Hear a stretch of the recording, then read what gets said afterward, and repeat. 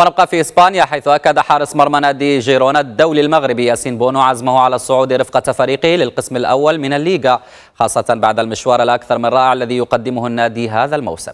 وأضاف بونو الحارس السابق لنادي الوداد البيضاوي ولنادي أتلتيكو مدريد الإسباني بأن فريقه يحتل المركز الثاني في الترتيب العام على بعد سبع جولات فقط من انتهاء الموسم الكروي.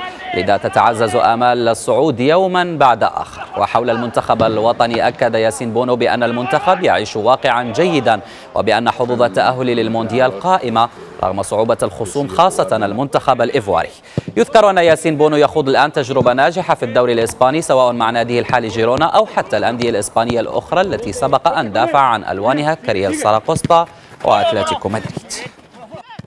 لحد الآن جيرونا يعني في واحد la position privilégiée.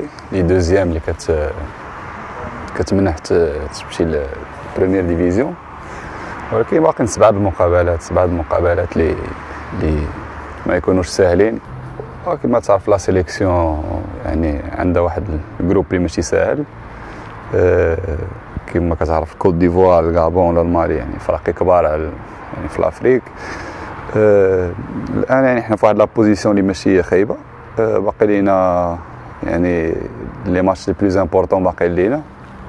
أه فكنظن يعني كل شيء ما يعني لا كاليفيكاسيون تلعب حتى الماتش الآخر.